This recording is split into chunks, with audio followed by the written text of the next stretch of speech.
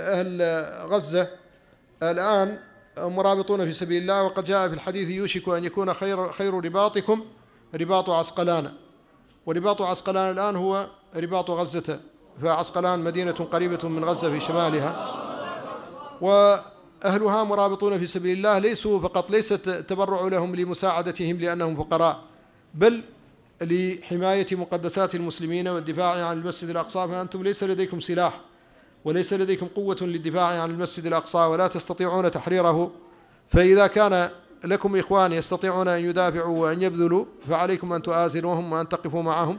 ووقوفكم معهم جهاد في سبيل الله ووفاء لله ببيعته. فإن الله قال إن الله اشترى من المؤمنين أنفسهم وأموالهم بأن لهم الجنة يقاتلون في سبيل الله فيقتلون ويقتلون. وعدا عليه حقا في التوراة والإنجيل والقرآن.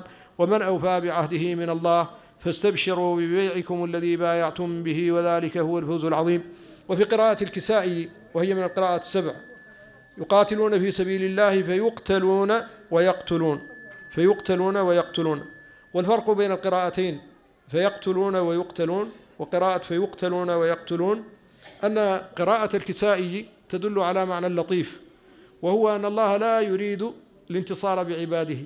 فإنه قال ذلك ولو يشاء الله لانتصر منهم ولكن ليبلو بعضكم ببعض.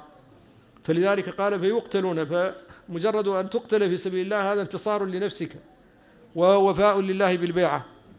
فلذلك آه الإنفاق على المرابطين في سبيل الله والمجاهدين في سبيل الله هو جهاد من مقتضيات بيعتك مع الله التي أمرك الله أن تستبشر بها وأكدها في التوراة والإنجيل والقرآن.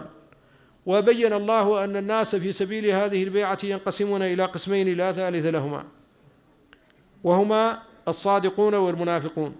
فقال تعالى من المؤمنين رجال صدقوا ما عاهدوا الله عليه فمنهم من قضى نحبه ومنهم من ينتظر وما بدلوا تبديلا ليجزي الله الصادقين بصدقهم ويعذب المنافقين إن شاء أو يتوب عليهم.